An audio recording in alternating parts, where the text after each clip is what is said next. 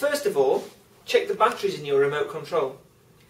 These can be accessed by opening the battery compartment on the back of the remote. Inside you'll find two AAA sized batteries. These can be purchased from any supermarket or hardware store.